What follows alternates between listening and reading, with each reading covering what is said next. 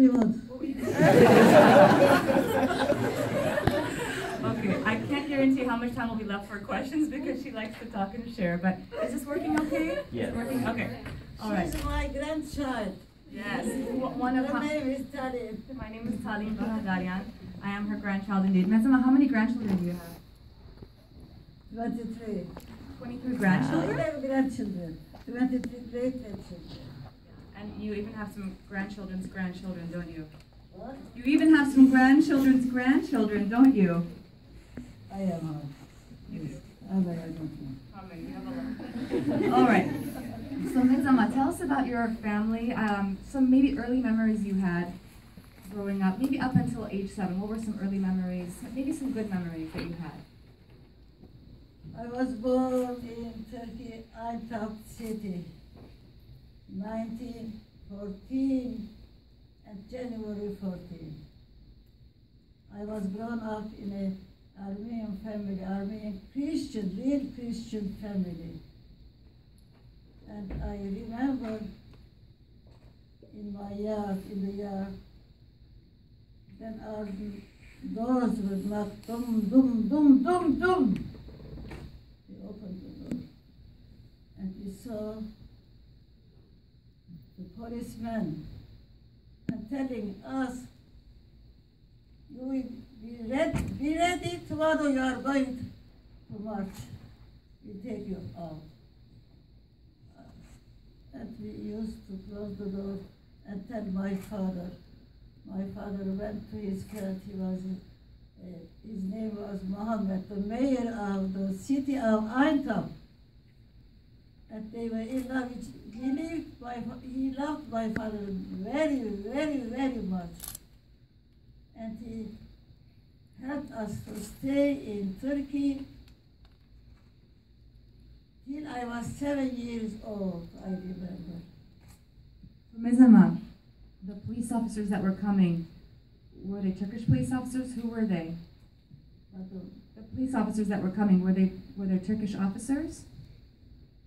Often they came and knocked our door. Tomorrow you are leaving. Get ready. Where did you think they were going to send you? I did, I did. I was seven years old. How do I know? But you knew it wasn't good. It was not good because there was war, and one day there was a bombing, bombing, boom, boom, the bombardment, Bombs. bombs, bombs, bombing, snipers, and we had a yard there in our house. We had a third floor, and we heard the bombs sounding, and there were there, are, there was another family come to us. We had a big kitchen. We went in the kitchen, and another family joined us. And a baby, three years old or four years old, was in the yard. She was crying, crying, and her mother said to her, "Come inside, come inside. Let bomb fall, fall over you." And really, a bomb, a piece of bomb hmm. fell on our yard.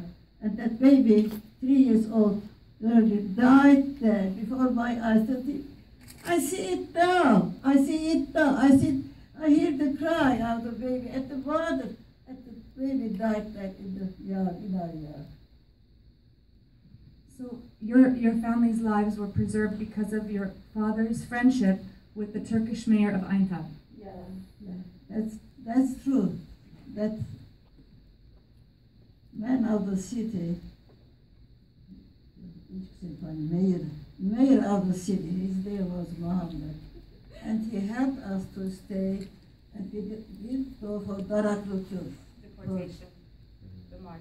The march. So Mezama, how many years were you were your lives preserved there in Aintab before you had to leave? Until 21, 1921, 1921. And how old were And you? then I was seven years old, and we heard that French army, French ruled the government there at that time, and my father was in the soldiers' army. And when we heard that French army is going to leave the country, the city of Antep, and we went, we wanted to go. One night, I saw two trucks coming in, two trucks, ridden by two horses, each one, each truck had two horses. And uh, like a truck, it was open. Like a wagon? Wagon, like a wagon, open. Open up, air? Open, open air. And we, uh, we heard that we, are going to leave. My auntie had made me seven dolls, clothes, from white clothes. I was crying, take my babies together, take them. I don't know, they, they didn't take it. So uh, we were another, uh, the, in the second car there was, the, in the second car there was the half of the other family and half our family united in one. So, so just to, Ms. Emma, just to summarize, there were two families that were fleeing at night in horse-drawn wagons or carriages. Ms. Emma, can we back up a little bit? Before you fled Aintab, you have shared with us about some images you saw from your door when you were peeking through the door. What did you see? What did you hear? I hear crying, crying loud, Mommy, I'm hungry. Mommy, I'm thirsty. Mommy, I can walk no more. But the gendarmes had whips in their hands. Mm-hmm. It just fly it all children, all the fathers and mothers. And they were crying, and we were crying also. My father worked among the Armenian people to defend us, defend us. Where were they going when you're saying you were looking through the door, through the cracks in the door? You saw the, the children fleeing, but where were they going? They were being driven to where? We didn't, we didn't know where for slaughter. We heard that they are slaughtering, killing people during that time. And there were many, many, many people died. I, these days I, I think about pregnant women. They have to deliver the baby. And they used to take the baby and threw it out up. They mm-hmm. tore the body out of lady mothers and took off the babies out. And then they keep the they keep the, the babies were they were dead. And they keep the mother on the way.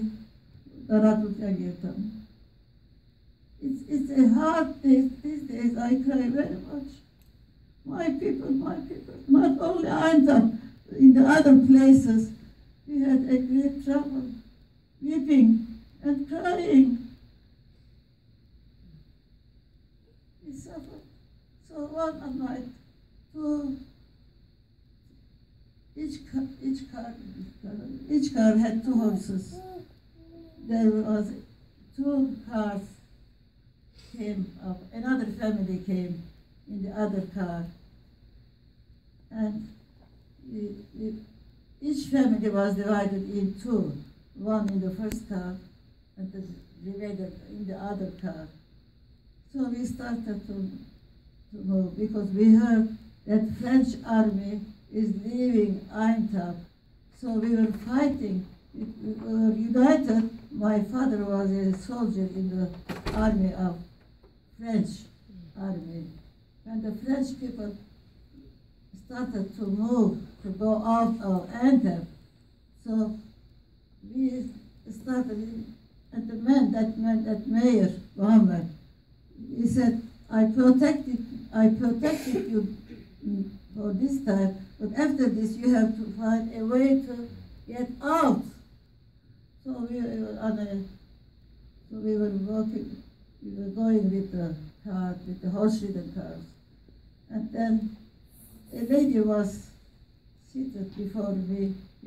She was from the other family. And we exchanged our places. And there were iron rails like this all. There was iron. And I was holding like this. And the two horses were taking us up. And that lady said, little girlie, would you like to change your place? I am not comfortable here. I said, okay, grandma. So we came down from the carriage. I took her place before the iron, iron bar, and she came back on me. After that, it was eating time, And the, our horses got mad. They were they were running, but after a while, they just jumped up and down, up and down, up and down. And our car, I was seven years then. That old lady instantly died. The iron bar came to her mm-hmm. neck, and she died instantly. And mm-hmm. then the carriage carrier, the ca- carrier, the carriage carrier, huh? carriage carrier said, this old lady died for this little girlie. That, that oh. little girlie I was. I was seven years old. She died. But I, there was a hollow, very deep river down, and the river was passing by. It was was a ravine. deep river. And I was happy with this. with here, here, here is here. There's a deep gash, uh, scar on her leg that she shows from here Excuse me. You can see it. I was head to this, and my head was by my shoulders down. I was just turning. Who won? Who won that? Who? Who? I was, just, I was on the deep, if that board uh, fell down, I would go down, down it, and perhaps in that water, and enemies would eat me. So you were hanging by something was that was hanging. wrapped around your leg I was hanging on this stuff. Over a deep The ravine. scar is here, it's like this, like this. And they took, so my auntie was with me, and my brother Abraham was with me. And my auntie cried, please take out, take out this little girl, take up, she will fall down. And they threw me up. Mm. And then blood, blood gushed out. Was pouring down like like a river. And then they went to Kilis. Kilis is a town between Aleppo and Damascus. I remember that there was thunder, they called thunder. It was square, square table, four legs, and on it they covered it like, like with a blanket, or blanket something else. And I remember myself putting my feet down, and the blanket came out. I was, it was, it was very cold, winter. So I know that it happened on, on a winter, winter day. It was winter time.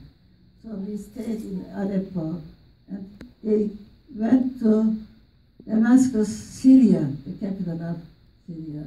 I don't remember that. In, in Syria, we, a doctor was there. There was a doctor, they were our neighbor. We used to play, the small children play with each other. On the roof, we used to play. Um, and that boy, Yeplem, his name was Yeplem, he was perhaps seven, eight years old. And I loved him, he was beautiful day, boy. How old were you? I was seven years old. I was seven years old. And that boy fell from the rooftop and he died. He was so beautiful and I liked him so much. Your first love. My first love. I was seven years old. What happened after you went to Aleppo? Did you stay in Aleppo? I, I remember how long, I don't know, that thunder, that there was no, no No heater? No heat? No heat, no heat. It was charcoal. They used to burn charcoal, put it in a place and put it under that table, that uh, square table, and they covered over it. I remember I used to lay down that I may keep hot. And they had gone to Damascus, Syria, I don't remember. My brother said the other two years ago, you were fainted most of the time. You were fainted. You didn't know where you were, where you were going. So you went from Aleppo to Damascus. You don't remember the journey. What happened in Damascus? Did you stay there long? In Damascus, in Damascus it was 1925. 1925 in Dama- Damascus. Uh, we lived in a Muslim country, Muslim area. And then my father's job was just there is a Copper? copper, copper smith. We had 20 workers over there. And we used on the top, second floor. And this was Sunday, we had gone to Bab Touma. Baktuma is Christian area. And we had gone to the church and, and, and when we returned from the church, the bombs were going off at the snipers. And there was a big store there. There, there came a man, tall, very tall, and half black, half white, and he had my mother's hand. Mm-hmm. What are you doing here? Go, go, it's safe, it's not safe. So we had to go. We had- to go there, and from there we entered to an area where Christian Arabs used to live. Wherever we knocked the door, they didn't open. They heard about the massacre of Armenians in Damascus, and They didn't want to open the door for you. no one opened the door. At one family opened the door. And oh, all eight days we were praying, Lord God, protect us, protect us. Because we heard that many, many Christians in outskirts of the city, there was, they came and killed boys, young boys, and fathers. So after, and my father knew the officials, officials. He gathered them those days and made kebab for them. They, they came to enter that quarter, that area where the Christians have, were keeping themselves. So they could enter the, that area. So 19, 20, 25. 1925, you were 11. So now you're in Damascus. You fled from uh, within Damascus into the Christian quarters, Arab Christian quarters. And uh, your father, again being friends with some leaders, made kebab for them to try to build those relationships. Um, and then, Metzama, you, you had shared a story where um, there was a woman whose um, whose children, who was pleading for the life of her children and for the life of her husband. She had gold all over her arms. Do you remember? She had gold all over her arms, and she said, "Take my gold, but don't kill my children." Do you remember that? Yeah. I remember Anush, her name is Anush. My father gathered many widows and the families, 70, 70 families. And the train was not, was not working. We could go anywhere. Then the trains started to work.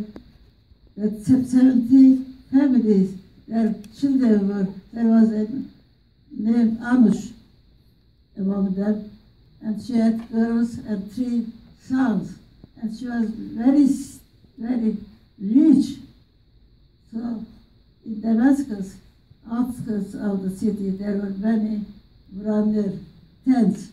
The Armenian families who came from Godorat, from Farnechkusen. They came, my father gathered them, and there was a lady, Anush. She used to cry and cry. When they went there, she, they found, the enemy found them. And she had many bracelets, golden bracelets.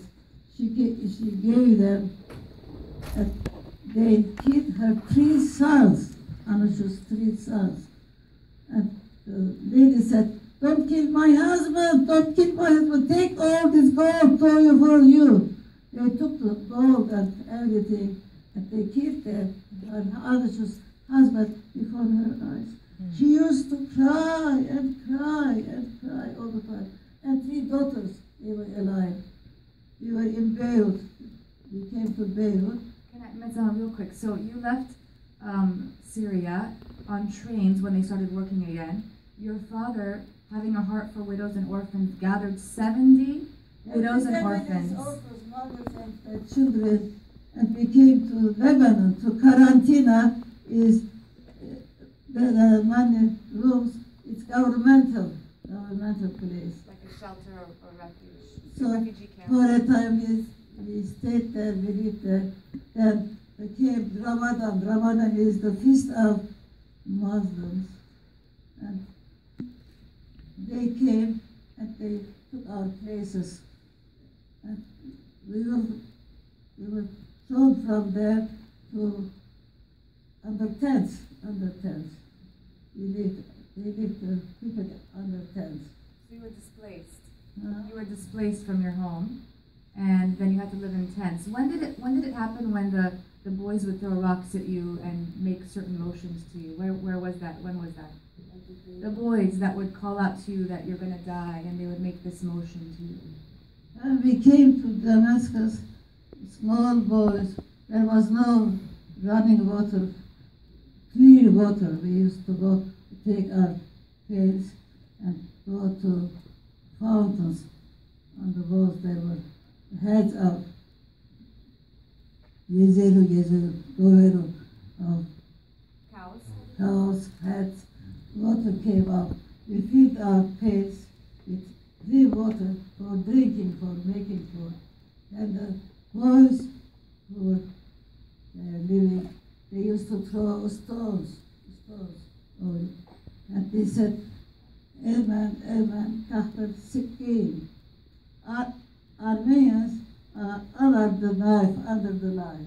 And they, we would throw off the water and we used to go home without the water, empty pails in our hands. And we were, we were crying, we were in fear. And after eight days, the war was over. When the war was over, my father fled and took 70, I studied, um, Seventy. Oh yeah, you, you took seventy widows and orphans to Beirut, and then what happened once you were in Beirut? Tell me a little about your life growing up with your uh, parents and your siblings. What what was it like? Share some good memories. Share some good memories. Love. How can I share good memories when I don't have good times? How can I? Whatever that I saw, I lived through, I can tell that. And I, when I see this Sireli, my Sireli, Anushik people, young people, full of life. The life is before you, you have to live. You have work to do for the kingdom of God. Because we, are, we came, now I, I am 101 years old. I am finished. Every day I am looking forward to see my mother, my son, and my loved ones that, uh, to unite. And someday Jesus will come back. He will come back and take his children loved him. Because I, I sit in my chair there, in my wheelchair, and I say, Jesus, why did you come to this earth? Why you were beaten, scourged, beaten, and six hours dead on the cross? Why did you do this for me? I love you. Why did you do this for me? Uh, said, he says, I love you. I love you. Jesus loves each one of you. And he has a plan for each one of us. And he says, Come unto me, all who are heavy laden and tired of life. Come to me. I will give you life everlasting. And live among you together. Come unto me. He says he is inviting us to him. Let us have Jesus in our hearts. He loves us. And he died for each one of us. He had no sin. But he went to the cross for you, for you, for each of you. And he loves us to the end of our life. Let us come to him. He's inviting us. I was then we came to Beirut from when the war was finished in Damascus. We came, we lived there in, there were Ms. Emma, where did you first learn about the Bible? Yeah, it's okay. Where did you first learn about the Bible? Tell me, you, you used to share about your, your dad gathering the children around him. Tell about that. That's a good memory. Yeah, a good memory is we were in, in the city of Aintab. I remember we had five, we were five. I am the third. Then one was born in Damascus and the seventh one in Beirut, Lebanon. In which it is. So, well, your dad would gather the children Yeah, around. In Aintab, when I was children, I remember my father sitting on a mat now, and like this, Cross-legged. that, and the Bible in his, on his knees. And he was waiting for us. We were five children there. Then my mother used to take our hands and go to my father and we sat around him. And he read from the Bible. He told about Jesus Christ. And we sang and he prayed. I love this. I love to remember that very, very, very much. We were one and praying and singing to Jesus. Someday we will be one nation of, and we will have one shepherd. And who is that? Can you tell me who is that shepherd? It's Jesus, Jesus. Christ the Lord, who came to this earth to die for me and for you. He died for you? Let's now sing that song to us, the, the song you would sing. What song would you sing with your dad?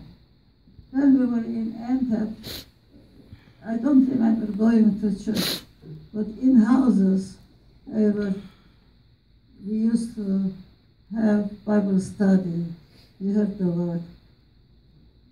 Bir vatan var ebedi, parlak ve hüsna. La la la la la la la. Jesus'un teveri. Ah, I have, I have forgotten. So I don't remember we would go to church because it was war time. First World War started 1914. I was born in 1914. Rizal, when you went to Beirut, you went to Beirut, uh, and your dad had a heart not only for the widows and orphans, but also for those who were affected by the genocide, the, the crippled, the blind. Tell us about the work that your family did with those people. Yeah. We were in Beirut. I don't know who is from Beirut. You don't, you are not from Beirut. You are born in America or somewhere else. But, will das sehen.